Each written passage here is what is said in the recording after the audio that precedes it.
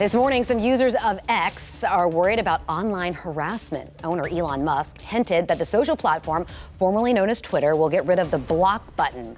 Users argue the tool is a form of protection. X's CEO also posted, quote, our users' safety on X is our number one priority, and we're building something better than the current state of block and mute.